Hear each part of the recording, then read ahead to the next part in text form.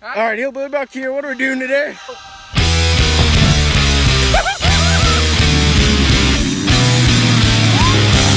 Kick back, watch it crumble. See the drowning, watch the fall. I feel just terrible about it. There's sarcasm.